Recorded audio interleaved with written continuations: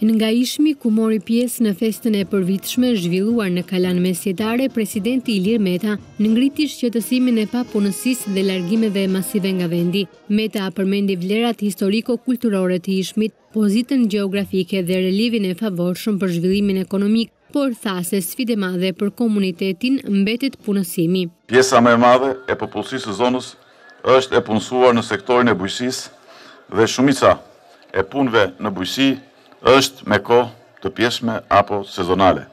Papunësia është shumë e lartë dhe burimet kryesore të ardhurave mbeten dërgesat e emigrantëve si dhe të ardhurat modeste nga prodhimet bujqësore, blegtorale, ndërtimi dhe shërbimet. Kreu i shtetit kërkoi bashkim të të gjitha përpjekjeve, në mënyrë që Ishmi të zhvillohet me ritme më të shpejta ndërsa këshilloi mbrojtjen e natyrës pasi kjo do të jetë vendimtare për të ardhmen ekonomike dhe të turizmit.